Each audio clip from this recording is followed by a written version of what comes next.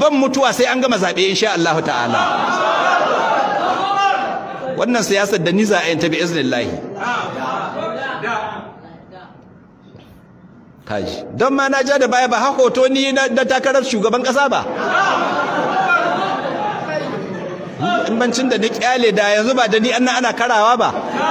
Duk waɗanda da na hito aka iya karawa da ni yau. In na fito. To don na jaye ma. Ina iya hitowa ma ina iya cewa na fasa yanzu na fito.